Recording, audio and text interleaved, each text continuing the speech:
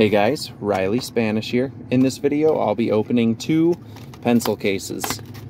I've opened so many of these things, but I don't know why. They just seem to have uh, better pull rates. And hopefully I don't have to choke on my words saying that right now, but I've had relatively good luck pull rate wise.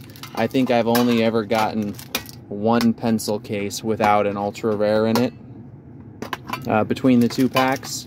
So it's going to be one each. One each of Astral Radiance and Evolving Skies. I don't know what that little chirping noise on my phone was there. Anyhow, get into the Astral Radiance first. White border code card on the first one, but in this set you can still get something from the packs. We've got Fire Energy, Bisharp, Choi, Quilava, Magnemite, Ralts, Hisuian and Sneasel, Misdreavus, Barboach, and just like that, a Mightyena from the Trainer Gallery, and then an Ursaluna Rare Non-Holo. Do the second Astral Radiance pack.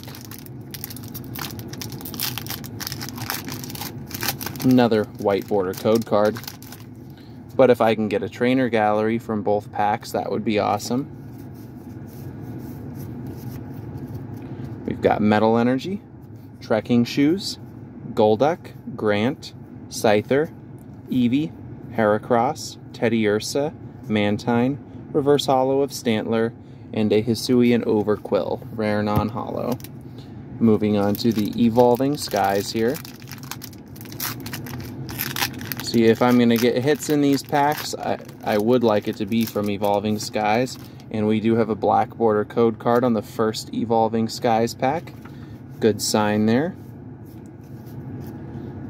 And we have Metal Energy, Shelgon, Ice Cube, Full Face Guard, Sableye, Lotad, Hitmonchan, Cutiefly, Eevee, Reverse Holo of Pinsir, which is a rare, and the final card, a Slaking Holo. So just a rare holo there, unfortunately see if we can do something with the second pack of Evolving Skies. And it's just a white border code card, so this is going to be for sure below average as far as these pencil cases go.